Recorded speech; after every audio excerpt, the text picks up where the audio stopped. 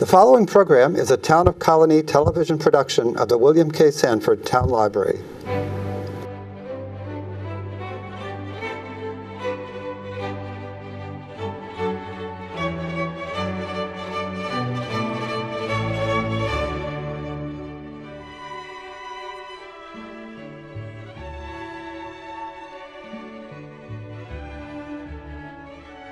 Thanks for coming. I'd like to thank Paul for making the long trip from his place of work to come be.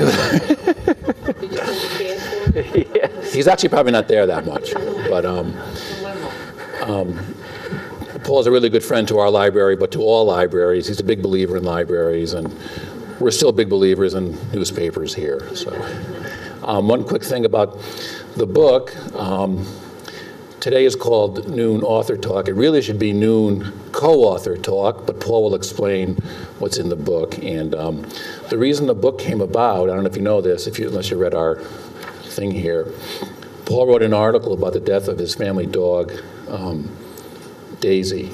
And he wrote a follow-up column after that because he got such a big response. And, and this is what he wrote. I have written more than 7,000 articles for the Times Union over the past 30 years, some 6 million words, and nothing in my experience had drawn that kind of response from readers. So, how many people here own dogs or pets? So, pet, pets are very important to families and everything. So, here's Paul Grondahl. The book is called Great, uh, um, Great Dogs of Albany and Beyond.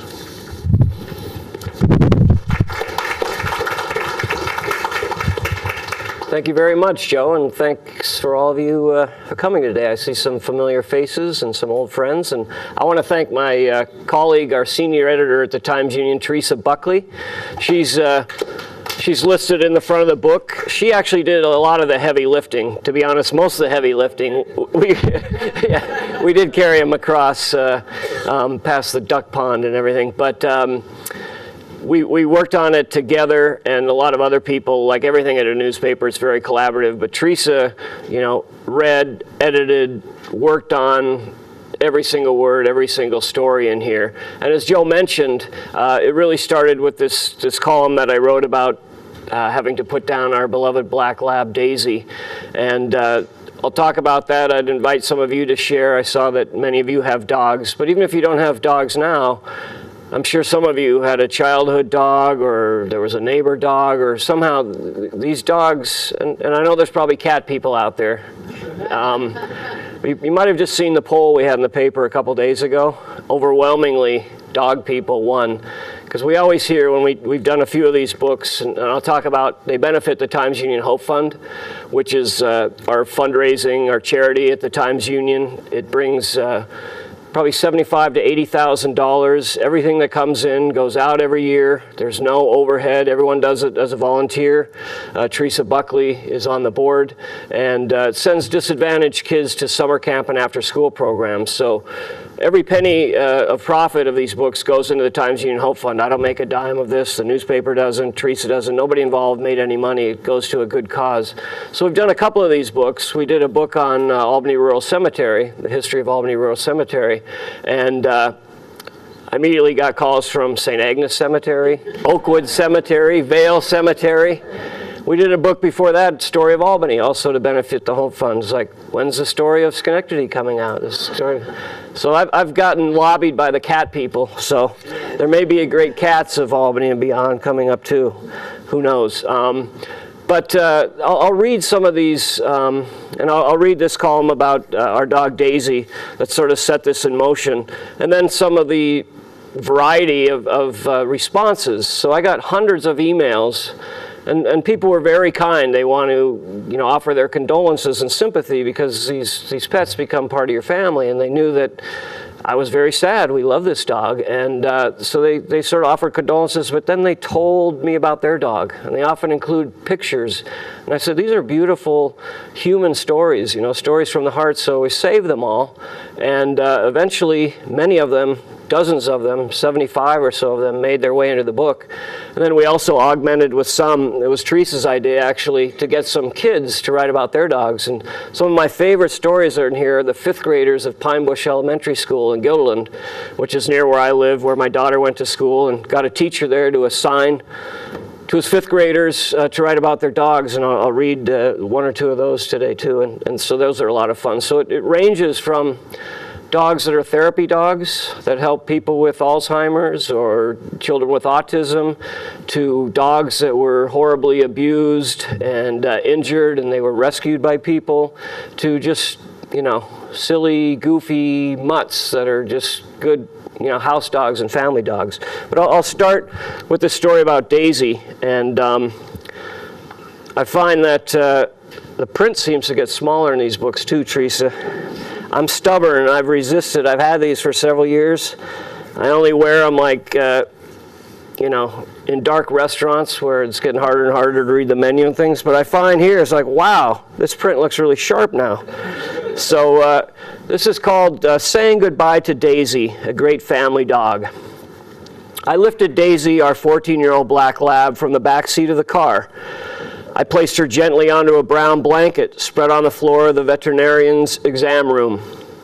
Caroline stroked Daisy's gray muzzle, which rested in her lap. It was a week after Caroline's 18th birthday, two weeks after her high school graduation, and less than two months before she left for college. Now another passage awaited, one we had dreaded for months. Daisy became incontinent, and her hind legs began to wobble and teeter like an old broken gate. With each fresh indignity, more of the spark went out of her brown eyes. Last week, those deep pools of soulfulness seemed to beseech us to let her go with dignity. She was 98 in dog years, and we had crossed a fine line between a desire to keep Daisy in our lives and to do what was humane for the dog. My wife Mary sat on a bench in the room and clutched Daisy's collar. I stretched out on the floor and spoke to Daisy in soothing voice and told her over and over what a great dog she was.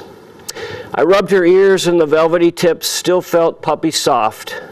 There was a box of tissues and we each began to empty its contents. We'd given the puppy to Caroline as a surprise gift on her fourth birthday.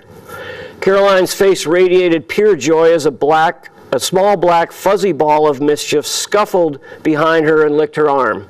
I captured that moment in a photograph. She named her Daisy. This was several months after we had put down Jazz, our black lab mix, at 13. Few things can compare with a childhood shaped by the unconditional love of a dog. We wanted that bond for Caroline. Daisy was the first purebred I'd ever bought after adopting dogs from the pound. We got her from a breeder who worked with my wife. I took Caroline to play with the puppies on a pretext a few weeks before her birthday, and she gravitated to Daisy, uh, the runt of the litter. I think she felt sorry for the timid little pup who got pushed around by her more aggressive siblings. Daisy came with an AKC certificate and a folder that included a family tree detailing her championship pedigree. I lost the paperwork. But the breeder had leveled with me. Daisy could never be a show dog because she had small white patches behind her front paws and other slight imperfections.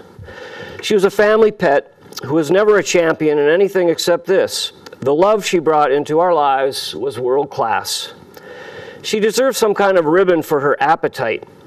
She's never finicky and ate the same brand of dry dog food her entire life.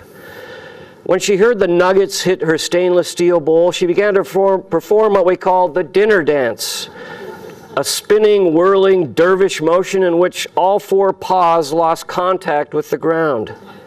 She could hoover a cup's worth in less than 30 seconds. Even in her final days, she did the dinner dance, a slow and creaky version with a single rotation, before plowing into her food. She never left anything in the bowl.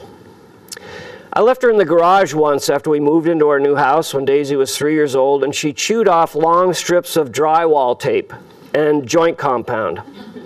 She never destroyed shoes we left around the house except for the plastic tips of shoelaces in my running sneakers. I caught her crunching those a few times like so many cashews. If I tried to scold her, she'd scamper around the house in a move we called the butt scooch. It resembled a Roadrunner cartoon and spawned her nickname, Crazy Daisy. Labs are known to love the water, and their web feet make them strong swimmers, not Daisy. She was a wader who preferred to galumph in the shallows as she chewed clumps of pond grass. We tried several times to carry Daisy out into deep water to coax her into swimming in ponds, lakes, rivers, and the ocean. No go. She also had an aversion to stairs. She lived her entire life on the ground floor of our house. We tried many inducements, but none worked. She slept on a blanket on a love seat in the TV room and was content. Once we rented a motel room in Provincetown at Cape Cod for a long weekend because it allowed dogs. I did not realize the room was on the second floor until we arrived, and the only access was an outdoor wooden stairway. I tried everything, but Daisy would not budge. I ended up carrying her 70 pounds, four legs locked at full extension, up and down the stairs three times a day. She was usually sandy and wet from the beach. The guests gave us a wide berth. An obedience class early on had little effect, and our attempts at training became sporadic and half hearted. Daisy was a jumper and a flopper. She jumped up on anyone who came to our house in exuberant greeting. I could not break her of the habit until arthritis did so at age 10. On walks, when we passed another dog, she immediately flopped on her back in a submissive, submissive posture. She did not possess an aggressive bone in her body. She even flopped for cats. Daisy loved all creatures, great and small. But Daisy had champion traits. She was a pro at curling up at my feet as I wrote in my study, immovable for hours at a time. No dog was better to watch movies with because she never stirred. Each morning as I came downstairs, Daisy greeted me with a full body wag. I reciprocated with a bear hug. She groaned with pleasure. She brought out good traits in us like love and tolerance and gentleness. I thought of a magnet my parents have on their refrigerator. I aspire to be the person my dog thinks I am. We felt that way about Daisy. In the vet's office, the drugs did their work. Daisy slipped away silently and peacefully. Time seemed to stand still. We'd been there for an hour saying our long goodbyes. The tissue box was empty. I looked back one last time at the black mound on the brown blanket on the floor. We closed the door quietly behind us and carried out into the lengthening shadows the memory of a great dog, our beloved Daisy, a true champion in the things that mattered. And that's the story of Daisy. That's kind of what people responded to and, and uh, wanted to tell their stories. And there is I think something universal in, in the love of a pet, and uh, you know, there's all kinds of breeds and, and everything described in this book. But the thing that comes through is this beautiful thing they give us. They don't ask for a lot in return, you know, um, but they give us this unconditional love, and, and, there's many variations and versions of that. I'll, I'll read one by um, a former colleague of ours, uh, Donna LaQuarrie. Uh, I like this one. Uh, Donna. Um, is married to Mark McGuire, who was a sports columnist, TV columnist, was at the Times Union for a long time. He's the uh, sports editor at the Daily Gazette now. And uh, Donna had written for the Times Union in years past, and, and here's her story about their dog named Maggie. It says Maggie chews up everything in her path. First, Maggie ate the top of the upholstered heirloom footstool that was one of my late mother in law's cherished possessions. Then she ripped a hole in the leather cushion of my ancient club chair, of the ancient club chair that my husband sat in when he got in trouble as a teen. He sat there a lot, so you'd think he'd have more patience for our puppy's wayward behavior. Then she destroyed the Christmas story leg lamp wire cord, which was, thankfully, not plugged in. Maggie seems to zero in on the things my husband treasures, which is funny considering he's the one who did not want a dog. Other things that have found their way into Maggie's mouth. Ancient nails that she clawed up from between floorboards in her old house, the insole of an LL Bean boot, a Mac Air power cord, two sets of headphones, wayward bagels, and molding. Luckily, she didn't swallow anything bad before I got to her, and now our house is dog proofed. She's the first dog we've had as a family, and despite her mischief, we're all pretty much head over heels, even my husband. Maggie's got her own space, her crate, and the laundry room, but she's become a constant companion. She sleeps with us when I give in to her cries. She curls up on the couch during movie night and hangs out in the yard on a tether while we garden. Maggie is what we used to call a mutt. Now we make up names for mixed breed dogs. She is a schnuggle, a combination of schnauzer, pug, and beagle. From different angles, she captures each of those breeds. Her fur or hair seems to be all schnauzer, and even though I'm allergic to dogs, I've experienced no reactions. She stands a foot high at the present time, except she tried to eat the measuring tape, so I'm not quite sure. We think at nine months she's fully grown. She weighs maybe 12 pounds. Despite her small stature, she holds her own at the dog park, a tiny black blur whipping around the legs of the bigger dogs, sometimes stealing their balls and generally being a pest. It's hysterical. Maggie was technical, a technically a rescue dog. Her mother was brought in while pregnant with pups that were born here in a safe place. We had most of them at our house to make our choice. They clambered over us and ran around like crazy, tackling each other and us in the process. My youngest daughter got her wish for Maggie, and we agreed. Magnolia is her full name for the two front yard magnolia trees given to me for our first Mother's Days in this house uh, almost two decades ago. That was, there was some confusion at first. Male was written on the adoption papers, and when we investigated physically, I couldn't really figure it out. So we renamed her Louie for a bit until taking her back to the rescue place for verification. For the moment, the club chair is safe. The vintage footstool has been removed from the parlor, and I've started looking for upholsterers. As for the leg lamp, well, I suppose it will need to be rewired. As Maggie trains us in our new role as a dog family, the adjustments we've had to make are all about love. And that's by Donna LaQuarrie. Um, anyone want to share about their current or former dog? Anyone have a funny story or uh, anything they feel like? Yes, Peter. Uh, my name is Peter Platt, and uh, my family to run Platt's Dairy and Platt's Place on Wolf Road. Yay. Back, back. in the uh, early 50s, we used to have a Great Dane, big Great Dane, called Tiger. Next door to us was Pep Navilia, and he had a Great Dane, or uh, Greyhound.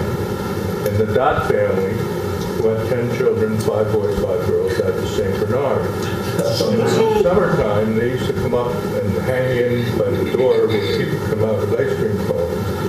And a little kid came out,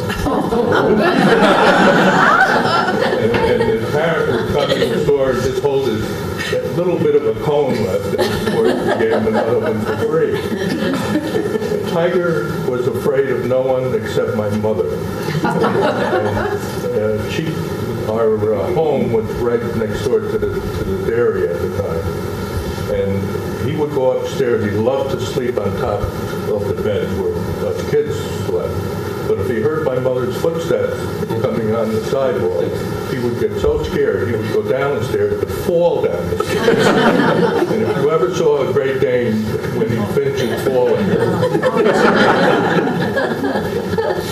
and then there was another one, oh, and my mother used to close up at night when she was home. At nine o'clock, the store closed in the winter, and Tiger would go with her. Whoever was closing up would put a scoop of orange sherbet on the ground, and the dog would. And when it was time to put the key in the door, he would just pick up the cart and go in the house and finish it off.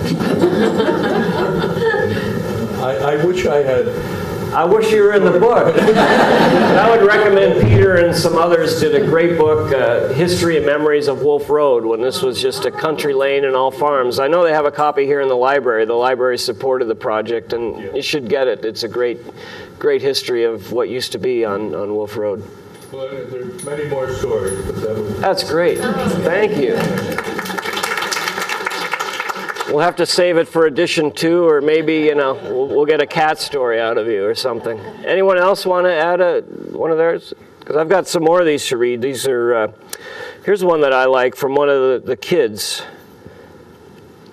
What I really like about the kids' writing is they're so free and goofy and you know they say the first thing that comes into their mind and and uh, they have a pretty funny sense of humor. So this is by Aiden Clark. Was a fifth grader. This was last year. This was uh, we were working on this late last spring and it came out uh, this summer. Um, so he'd be a sixth grader now. Uh, it's about called Eddie, the peculiar dog, and instead of photographs, we had most people send photographs. They drew uh, pictures of their dog, and he's got a dog here of Eddie looking like a beaver and climbing this pole, which will become clear in a minute. Um, ever since my family adopted our terrier mutt Eddie, he's had some peculiar behaviors. Eating wood chips and grass, which is common for a beaver, forces him to explode with vomit. It's nasty never leaving my mom's side as if he were a toddler, and barking every time there's an animal on TV. He's even memorized the music of the commercials with pets, so he starts barking even before the animals are shown. The point is, Ed's not your typical average everyday dog. Whenever he's hungry, he squints at us until he has our attention and he lays his paw in the food bowl. When he needs to do his business, Ed barks and points to the door with his body. That's not all. Most people believe that dogs, despite despise wearing clothes during the winter. Not Ed. He looks forward to the day he puts his sweater on and loathes the day it's taken off. One day, though, when he was tired of waiting, he put the sweater on himself. The sweater is very old and worn out, and I'm not looking forward to when we have to throw it in the garbage. Another thing about Ed is that he really dislikes to be caged. No one knows exactly what happened, just that Ed somehow bent the bars to his cage. When he was put in the kennel, the only thing separating him from the rest of the kennel was a fence that didn't reach the ceiling. So he climbed his way to freedom. Although he causes a lot of chaos and mayhem, my family and I love him anyway. And that's the story of Eddie the peculiar dog. Uh, here's one more that I give Teresa the credit for the headline A Love for Stinky Cheese and Blonde Women. How's that for a headline from it? It's by Dennis Meadows, and he lives in Delmar. And again, like, like a lot of these stories, they've got a little bit of everything, which is kind of life. These dogs or pets are, are, you know, remind us so much of the ups and downs of life, and this story will bring that out. Scout was our first dog. My wife and I had not yet decided to get a dog when, in May 2003, she returned from a Pepper Tree Rescue Adoption Clinic with Scout. She went to the adoption clinic to get information. She returned with so much more. Scout selected my wife and came to our Delmar home for a two week trial period. The trial period lasted more than 10 years. We welcomed Scout into our hearts and our home. He arrived as a striking yet scared two year old Husky, Great Pyrenees, Cocker Spaniel mutt. He had the fluffy coat of a Great Pyrenees, the red and white color of a Husky, and the floppy ears of a Cocker Spaniel. He was smaller than that combination would suggest, never weighing more than 50 pounds. Scout was afraid of men, but he loved the ladies. His original family included three blonde girls, and he was always drawn to blondes. It was more than two weeks before Scout accepted me and let me pet him. As a young dog, Scout was full of energy. We chased each other in the backyard before and after work. We let him run off leash at Partridge Run Preserve, and there was the occasional jailbreak where he would be high stepping it down our street, only to be lured back with the promise of cheese. He even had a brief stint running agility with my wife until physical limitations put an end to his agility career. After 10 years of marriage, my wife and I separated. We had three dogs two purebred, athletic golden retrievers, and Scout. I kept Scout, the lovable oaf of a dog, and my wife kept the Goldens. Scout had long ceased to be my wife's dog and always preferred being an only dog. In June of 2013, Scout was diagnosed with cancer. A tumor had developed on his right front paw, and the vet gave us two options really, only one. It was clear to both me and the vet that there would be no radiation, there would be no surgery. I would do nothing other than make Scout's remaining time comfortable and enjoyable. The next few months, Scout's health gradually declined, but his goofy grin and wagging tail remained constant. As he struggled to get into his favorite chair, I removed the feet so he could climb in on his own. When the deck stairs became a challenge, a dog agility A frame became a makeshift ramp. The hardwood floors were covered in area rugs so Scout could make his way from room to room. By late December, Scout could no longer support himself, and I knew it was time. Scout and I spent most of the weekend together. I slept on the living room floor with him. That Monday, my wife and I reunited to say goodbye to Scout. At 13, he was no longer young and scared, but he still loved the ladies. He had developed a taste for bacon, chicken, and stinky cheese. We said goodbye to Scout, knowing we had given him the best life, and he had given us so much more. That's the story of Scout.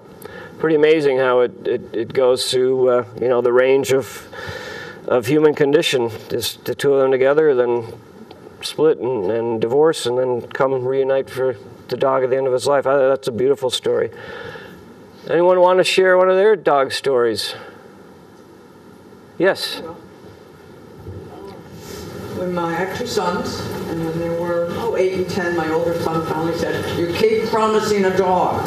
When are you going to do it? So we went to the, in January, a very snowy, cold January, dumb, we went to the Humane Society and looked around at all these dogs, couldn't find one. I kind of had in my head I wanted a female, who knows?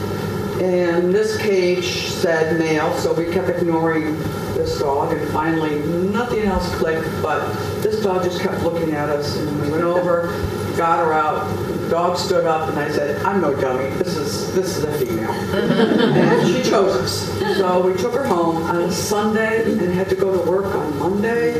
Again, what were we thinking? And up, I had one of those old-fashioned gates with the, you know, child gates that were no longer used, but they came up like this.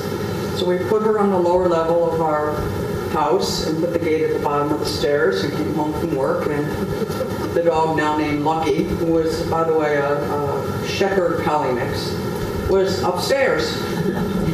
We said, oh, okay. So the next day, I put the gate in the middle of the stairs. Came home the next day, and the dog is upstairs. And I had this vision of coming home and finding my dog impaled. so we decided that Lucky was going to be upstairs. And upstairs is where she lived a very long life. I won't go on any further, but she managed to eat the whole side off my brand new love seat. Um, she ate most of the side off the books. She loved magic markers. They were very beautiful poop. Um, there were many, many stories about Lucky, and, and uh, we had her for about 15 years before we lost her. She was the first of many dogs. But her going over these gates and never could figure out how she did it without knocking the gate over or hurting herself. And in the middle of the stairs, imagine, she was about 70 pounds, so she had a big leap. She was a one-year-old, which I thought meant she was a grown-up. Again. Oh. I've been much smarter ever since about dogs. Thanks for sharing the story of Lucky. Very good. It's funny. I've seen uh, some people have like nanny cams or, or computer cams, and they'll they'll do uh, time lapse or, or videos of their dogs, and you think dogs they sleep all day, right? At least when I'm home with my dogs, they seem to sleep all day. But man, these dogs are smart. They can figure their way over, like Eddie climbing up. You know, dogs can climb, figure their way under things, how to open doors, etc. They'll, they'll keep at it, you know, if till they figure it out. Um, here's a story, uh, again showing all the amazing things that, that dogs can do. I'll read. Uh, it's about a Rottweiler who uh, was a great caretaker for a woman at the end of her life. Um, I'll read that story. It's a short one. And also, uh, I should have said um, the, the first 200 books uh, that we published and uh, were given to the uh, Hudson um, Mohawk Humane Society. So they made $5,000 as a fundraiser for them. And we were involved, uh, Brad Shear, the executive director, wrote an introduction to the book, and, and we were involved with them some early um, events and things. So the Mohawk Hudson Humane Society, which does great work in helping dogs get adopted and, and uh, sheltering dogs, were a, a beneficiary of this project as well. Uh, this story is called Susie the Rottweiler was Mom's Guardian. It's by Regina Rude, and she lives in Altamont. We've had and still have many amazing dogs in our lives, but Susie, our Rottweiler, was an example of unconditional love and protection. Rotties are known for their protective nature, but they are often perceived as vicious dogs because of that very nature. My mom's health was failing fast at 81 years old. It became clear that we needed to find a home where she would be safe and well cared for. She lived on Long Island and we lived upstate, so she asked if she could live with us. Family and friends were concerned because we owned a large Rottweiler, along with two small Shelties. Before we moved Mom in, we had our Rottie evaluated. It was determined that dogs like her needed a job she was loving and gentle, but no one dared to enter our little farm while Susie was on duty. Mom moved in, and the most amazing thing happened.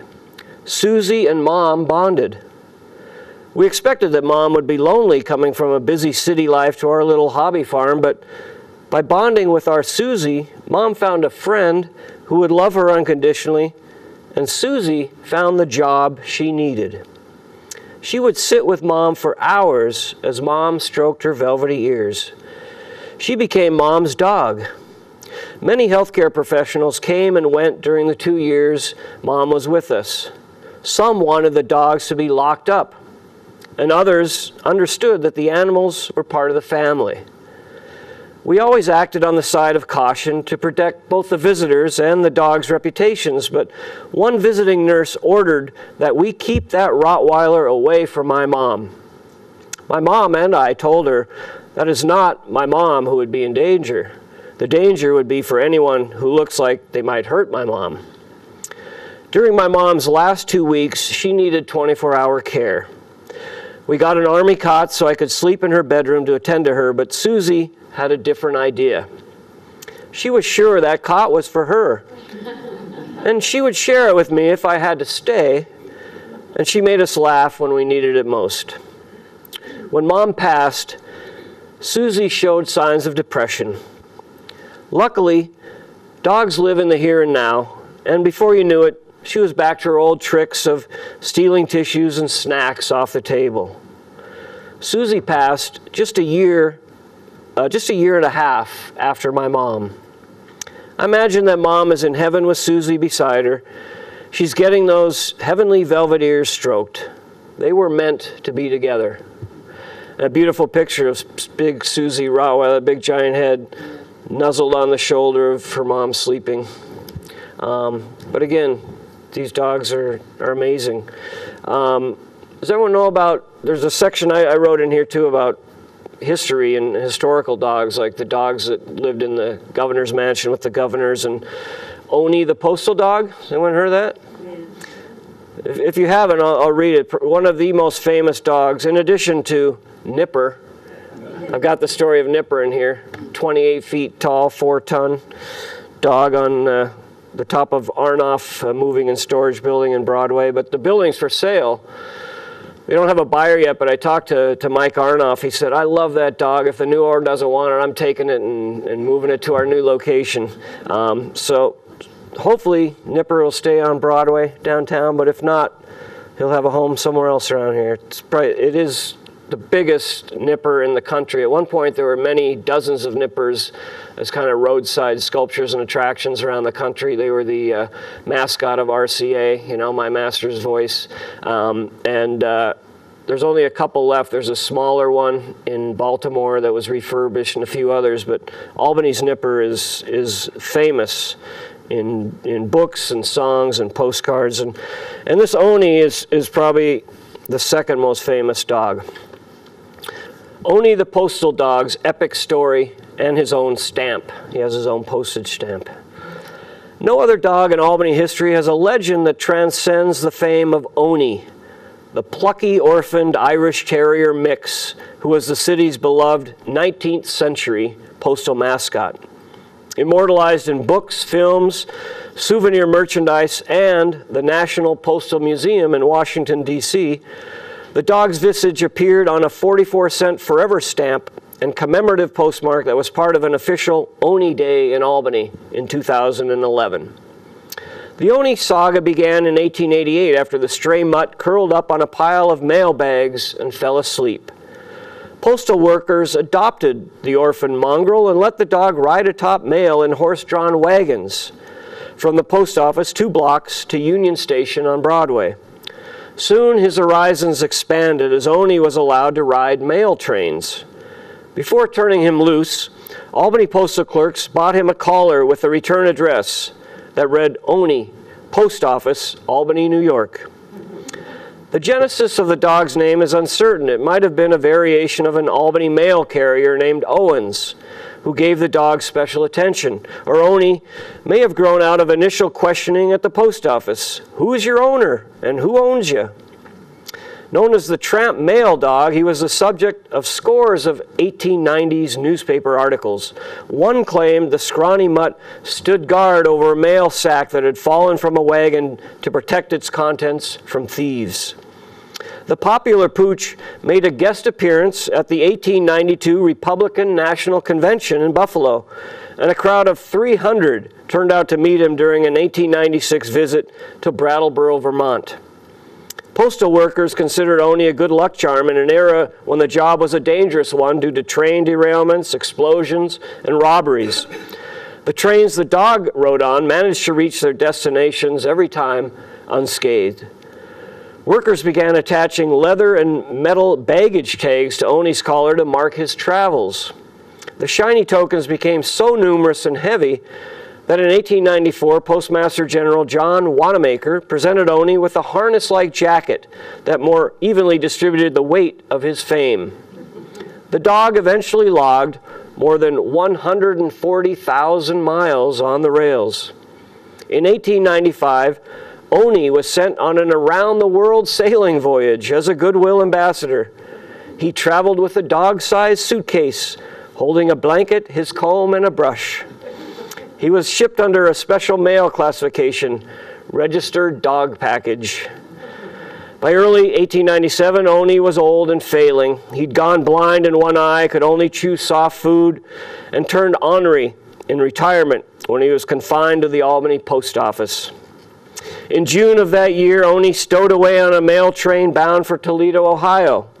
During an interview with a Toledo newspaper re- reporter, the terrier lashed out and bit a postal worker. On June 11, 1897, Owney was shot and killed, probably by a U.S. Marshal, although nobody claimed responsibility for the deed. Postal clerks took up a collection and had Owney stuffed. The taxidermy was displayed at the Post Office Department's headquarters in Washington, D.C.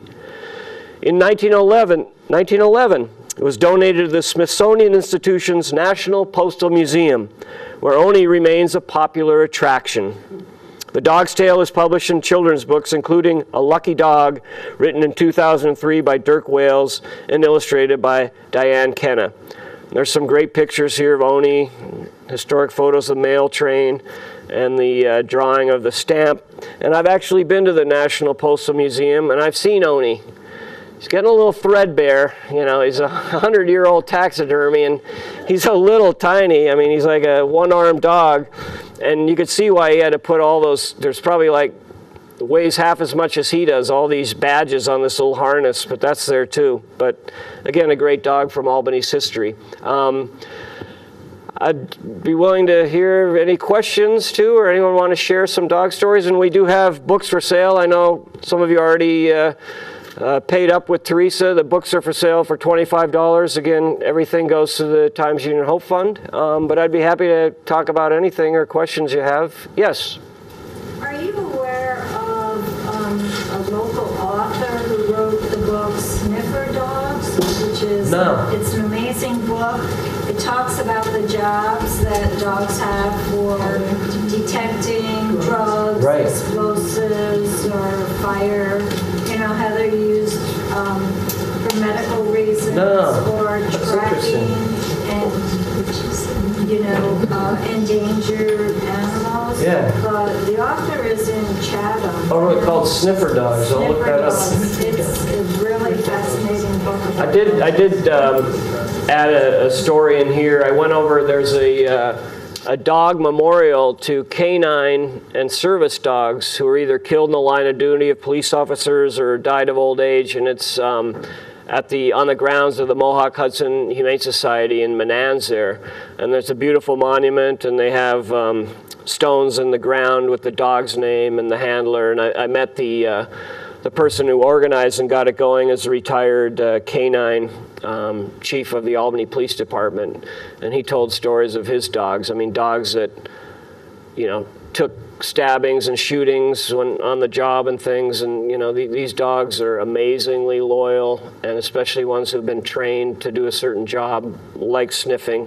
you know i always feel safer when i mean i was down in new york city with the pope and it was high security and there were dogs all around bomb, sniffing dogs. Anytime i'm at a big political event with a or a big you know figure the bomb sniffing dogs come through the hotel and things and you know you see them at the airport and and they do find things. You know they do prevent bad things from happening. So yeah amazing dogs. Um, that's good. Sniffer dogs I'll, I'll look for that. Anyone else? Yes One story, that okay? yeah absolutely we're gonna we're definitely gonna have to do another volume here. We got the, the ice cream eating Great Dane. We got Lucky, the scaling, the that's what do you got? That's tough to beat. Some, some Uh, tough name's Tom. Lyons, I grew up in Waterville and lived most of our lives here in Latham. We recently moved to London. But first, a story about my wife, okay? Okay. We've been going around the Northeast, both retired now, and uh, we sample a lot of sandwiches. And my wife, my wife loves uh, roast beef sandwiches. And naturally, I ask, well, how's the sandwich? And uh, not too often, but once in a while, she says, great. But then there's this pause, and I says, and she said, but not as good as Platt's. Ah, there we go. We already had a bring back class. That's fantastic. I like that story. The story is is very similar to Daisy. We Yep. had a uh, chocolate lab. Uh, I know she was the run because uh, the breeder told me so, and she was the last puppy left there. There was no other. Uh, she was a wonderful dog. I don't remember too much chewing going on. She didn't bark that much. She didn't bark, but she didn't bark a heck of a lot. I think she liked the UPS guy and the postman. You know, there, was, there was none of that charging to the door or any of that stuff going on. Um, she was with us for 13 years. And you know, raising two boys, now and then there's, you have to discipline. And once in a while, I would sort of be eyeball to eyeball with one of my sons, especially in high school, trying to get a point across, he's trying to get his point across. And voices would be raised a little bit. And then we'd look down, and there would be Hershey. The dog would get up and put herself right between if to say, that's enough. And it was enough. We basically chilled out. That's great. Um, But it's actually about two dogs. I mentioned Hershey was 13 years old. Uh, near the end, I would come home from work. We lived in a raised ranch. I come in the front door, and there's stairs going up to the kitchen. And one of the best things about dogs, everybody's experienced this probably, is that when you come home from work, your dog goes ballistic. well, over the years, you know, the dog calms down, calms down, and uh, near the end, uh, she had arthritis really bad and so forth. And basically, she would be closer and closer to the ground, if you will, the top, the top of the steps. And uh, near the end, her, her face would be over the top step, and she'd be laying down. She could not get up. But when I came into the door, her tail, boom, boom, boom, boom. So the second part of the story, second dog, uh, real quick. We walked the bike trail quite a bit, Sue and I. And one day we walked the bike trail, and out of the woods comes a beagle. We, we estimate about five or six, seven years old, covered with burdock and skinny, and you know looked like tough shape. So we took it home, but we were a little hesitant because Hershey was so old and, and not getting around that much. But we took her, took the beagle back anyway, cleaned it up, went to the papers, tried to find the owner. We weren't able to find the owner. But the beagle, because it was relatively young, younger than, than Hershey, would run around the house and couldn't, you know, go across the linoleum and couldn't keep up with feet were going so fast. I came home from work one day, opened the front door, and I looked for uh, Hershey. Hershey was standing up, and her, hat, her tail was going like this. But a young dog brought Hershey back, and for the next six months, Hershey was her old self. Wow. A wonderful story. Yeah, Um, but actually, a wonderful story. We put a little melancholy at the end here because uh, the beagle itself, uh, after about six months, we noticed a little bit of blood tracing around, and the vet said that the beagle actually had a tumor, and that's probably why the beagle was dropped. That's probably why we found the beagle. But the, the interaction between the two dogs and in the household, it was, it was just wonderful. So, so wonderful that I had to get up here and tell. Fantastic. I see, Teresa, we're definitely thinking of a volume two. Cats and dogs, maybe. And, and we actually got another dog after Daisy. We went for a while, almost a year without a dog. And, and uh, But this is Lily. She's on the back cover. I tell a little story about her in here. She's a pit bull uh, lab mix. Amazing dog. I mean, probably the greatest dog I've had. And uh, uh, in a lot of different ways. But she loves to go on road trips. So our daughter Caroline, who you know was date got Daisy, Daisy for her at four years old, is now at Fordham at Lincoln Center in New York City, and. I go, you want to go on a road trip, Lily? And she's like excited. So we go down, we spend the day walking around Central Park, and there's a great place called the Ballpark Cafe by the ball fields where they have dog bowls and dog bones, and they're very, you know, cool, and they invite dogs. So we, we always stop there for lunch, and then there's always other dogs. We meet these other dog people, and amazing New Yorkers tell their stories about their dogs. But uh, in the beginning, I, I, write a little bit about the, the uh, some of the statistics, and there's probably like 250,000 dogs in the capital region or more. I mean, it's it's a big number. And when you're in New York City, that that city of skyscrapers and and uh, it's amazing. I think there's a million dogs in New York City, and somehow they make it work. You know, every time we go there, we, we meet more dogs and things, and it's it's very cool. So dogs, um, you know, can have a great life in the city, in the country, where, wherever. And uh, thank you for sharing your stories, and I'll stick around. And if you want to buy a book and have it signed, I welcome you. Thank you very much.